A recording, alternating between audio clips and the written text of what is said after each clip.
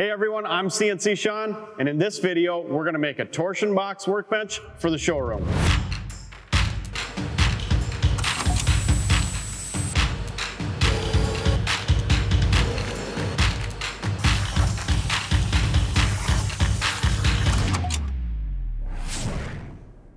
So if you caught our last video, we finished up the showroom cabinets, got everything put together and installed, and thought, you know, it would really be nice to have a workbench to put all these together on like we do back in the shop. So we ordered up some material.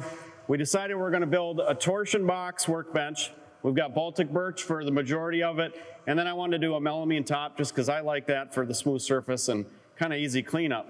So let me show you how we put that together in VCarve. Okay, we've got VCarve Pro open, or the version I've got Aspire. That's just the full-blown version of VCarve Pro. We'll start with sheet one, and we've got the internal parts to the torsion box, to the end pieces, and these are also the internal parts. This gives us kind of our frame structure. Uh, we'll have some inside cuts, some dado cuts, and then our perimeter cut that we'll use a 3 8 compression bit on.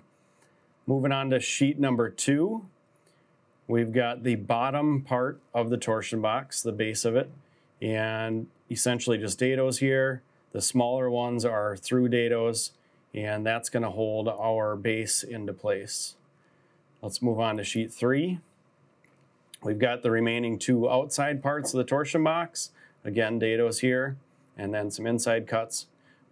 Kind of nice to have those pockets inside to be able to place stuff. Then these are the uh, other three parts to the base. One in the middle just for a little structural support, and then the two end pieces. Sheet four, we did, uh, we threw the ShopSabre logo in there, did a V-carve carving of that, and uh, I think that's gonna turn out really nice. Other than that, it's just all cut out with a 3 8 compression bit. And then our final sheet, we did a sheet of uh, three quarter melamine. This has dados all the way around, the bench dog holes in it. If you want to keep those, use them. I think they can be useful in certain applications. So there you have it. It kind of gives you a layout of what we got going on. Let's head down to the machine and get this cut. You got a peek at how we put this together in VCarve. We're all set to go. We've got the files ready. Now I've got a sheet of Baltic birch plywood ready to go. We'll start there. Machine set. We'll fire up the Oneida dust collector. And all we got to do is hit go.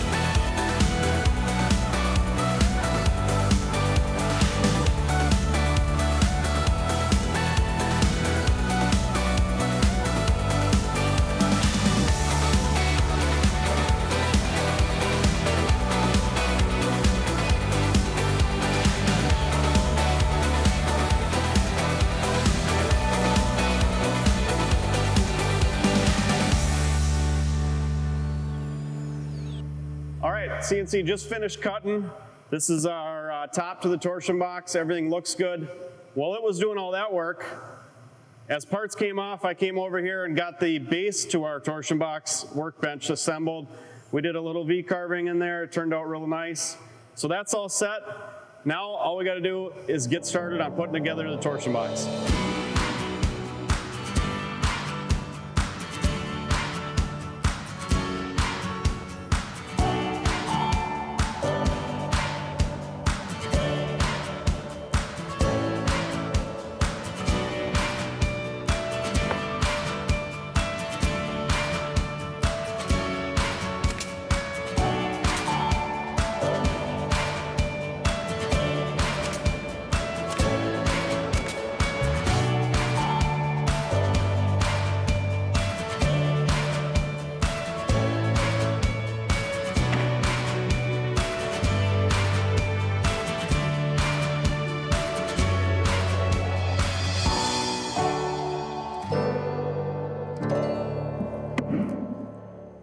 We just finished up our torsion box workbench. Couldn't be happier with how it turned out. You know, on the base of it, we were able to put our logo on there. That looks really nice. Working up from there, we've got spaces to uh, put a nail gun or drill, whatever you're working on. And the whole frame of that gives us the rigidity and flatness this keeps. Then you look at the top here, and we've got bench dog holes if you want to use those. You know, it, it turned out great, and I'm excited to have a place here in the showroom where we can set stuff, work on it right here rather than on the CNC or on the floor. So there you have it.